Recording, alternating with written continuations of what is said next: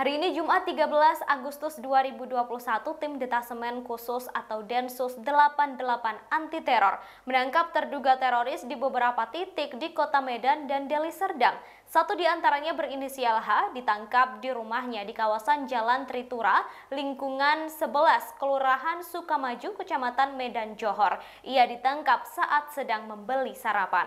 Penangkapan itu dibenarkan oleh Kepala Lingkungan setempat Yusmidar. Ia mengatakan pada Jumat pagi mendapatkan telepon dari Brimob dan diminta untuk mendampingi penangkapan.